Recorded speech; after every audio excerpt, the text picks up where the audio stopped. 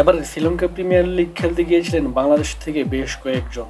তার মধ্যে অন্যতম সাকিব আল হাসান, মোহাম্মদ মিটুন লিটন দাস, শরীফুল ইসলাম।